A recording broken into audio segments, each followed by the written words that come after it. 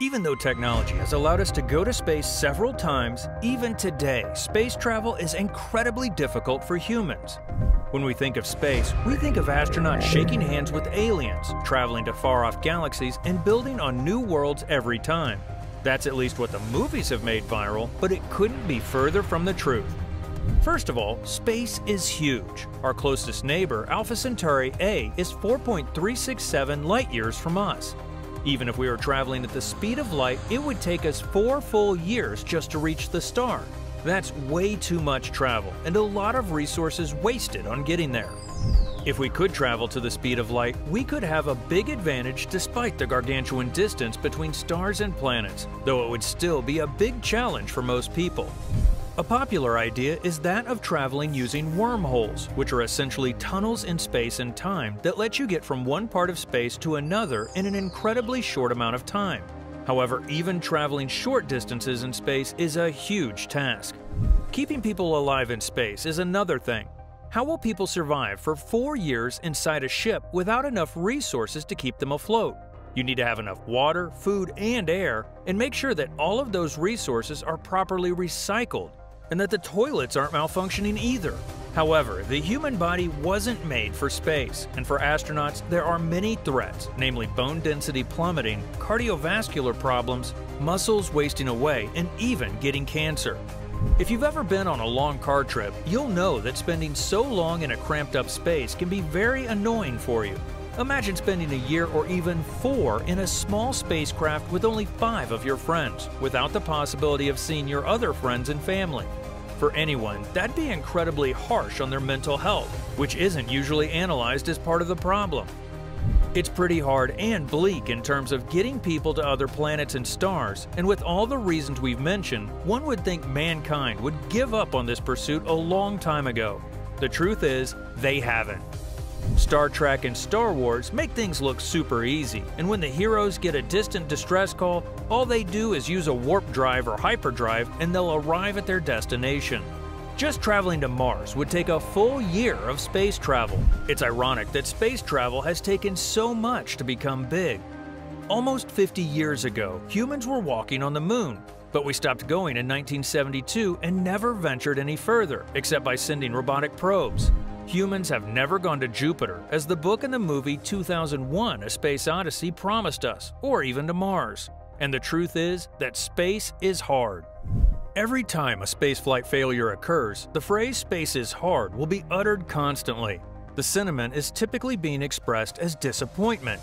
Any high stakes project carries a high risk of failure, especially if it's on the cutting edge of technology. Spaceflight also has a bunch of problems that make the conditions for success super difficult. These are some reasons why this happens. Rocket launches are controlled explosions in the most literal sense, given that combustive power of liquid oxygen and hydrogen, alcohols and kerosenes, and leaves little room for error. Using that energy into a usable thruster requires carefully designed combustion chambers, nozzles, and other components. Hydrodynamic instabilities are so complex and difficult to predict that the early Rocketeers relied on experimentation rather than empirical modeling to perfect their designs. And that's not even talking about the many hazards of human spaceflight. Let's think of a human journey to Mars, for example. Even though Mars has been numerously probed by human satellites and machines, a journey there offers a massive amount of complexities. The first hazard of a human mission to Mars is also the most difficult to visualize because, well, space radiation is invisible to the human eye. Above Earth's natural protection, radiation exposure increases cancer risk, damages the central nervous system, can alter cognitive function, reduce motor function, and prompt behavioral changes. To learn what can happen above low Earth orbit, NASA studies how radiation affects biological samples using a ground based research laboratory. The space station sits just within Earth's protective magnetic field, so while our astronauts are exposed to 10 times higher radiation than on Earth, it's still a smaller dose than what deep space has in store. To mitigate this hazard, deep space vehicles will have significant protective shielding, dosimetry, and alerts. Research is also being conducted in the field of medical countermeasures, such as pharmaceuticals, to help defend against radiation. Rocket engines have the problem of causing intense vibrations during their launch, which both rockets and their payloads must survive. Spacebound components and systems need to be tested several times on Earth to ensure that they can withstand the launch environment in the first place. There's also the cleanliness standards and levels to be upheld for the spacecraft. If you've watched our video on space junk, then you'll know that we don't want to make space dirtier than it already is right now. During assembly on Earth, dust, fluids, and other contaminants will settle to the bottom of a spacecraft or collect in spots with little airflow. In zero gravity, these particles can become airborne, so to speak, and damage electrical components, shorting them out. This is why spacecraft are assembled in clean rooms. It's to protect the spacecraft from humans, not the other way around. Let's also remember that a spacecraft is not only a home, it's also a machine. The ecosystem inside the spacecraft is important in the everyday life of its inhabitants, the astronauts. Important habitability factors include temperature, pressure, lighting, noise, and quantity of space. It's essential that astronauts are getting the requisite food, sleep, and exercise needed to stay healthy and happy. Technology, as often is the case with out-of-this-world exploration, comes to the rescue in creating a habitable home in a harsh environment. Everything is monitored, from air quality to possible microbial inhabitants. Microorganisms that naturally live on your body are transferred more easily from one person to another in a closed environment. Imagine an outbreak like COVID-19 happening inside of a spacecraft going to another planet. How would the astronauts fare in a situation like that where they're already isolated? And that's something that could happen to anybody in space, which is why it's so problematic. There's also the fact that the reliability of a rocket or any kind of spacecraft has to be essentially perfect for things to work.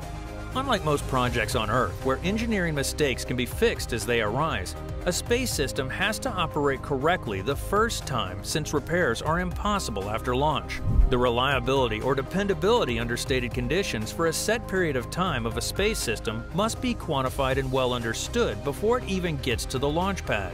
On top of that, an aircraft and a spacecraft or rocket are very different in their automated sequencing and the steps necessary to properly operate them. Space operations are infinitely more complex than air operations. And there's also the fact that not even all of the things we mentioned are all the reasons why space travel is hard. The truth is that the more we know about space, the more we understand how little we know about traveling in it and how it would affect humans.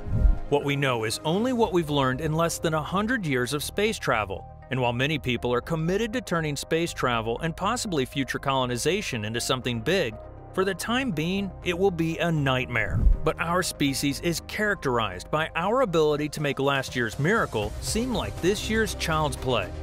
Just over 50 years ago, colored televisions were a novelty. Now we're working on fully immersive virtual reality. We need a significant attitude shift in how we think of spaceflight. Rocket science is no longer fringe or experimental. It's marching into the mainstream, and it should be held to the same high standards as other pervasive technology systems. With due time, we'll be able to advance in spaceflight. And those are the main reasons why space travel will always be a nightmare.